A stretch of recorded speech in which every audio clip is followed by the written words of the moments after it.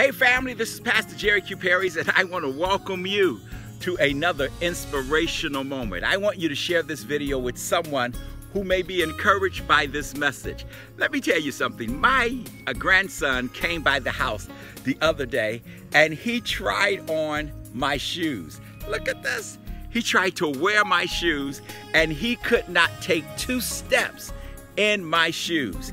And you know what I thought about? There are so many people who are trying to give you advice about your life that can't walk in your shoes. When I was a young man, I used to criticize pastors for not doing enough in the community until I became a pastor. And I want to apologize to every pastor across America. I did not know how difficult it was being a pastor.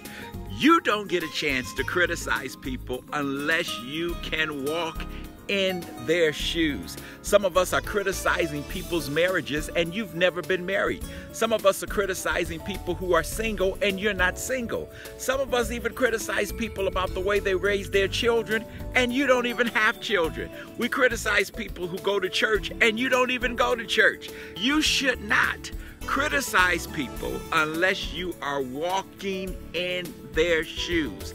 Let me tell you the best thing that you can do is pray for them, extend them grace, extend them support, and help them walk this journey out. Don't be a Facebook reporter, don't be a discourager.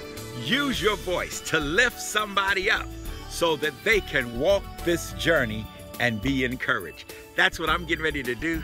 I'm taking off and I'm walking so that I can be a blessing to somebody else. I pray this video blessed you.